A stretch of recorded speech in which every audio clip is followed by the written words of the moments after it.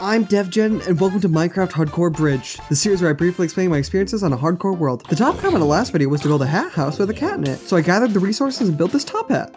And this is the interior, and this little guy is Craig. Whatever's the top comment was I do next. Thanks for watching.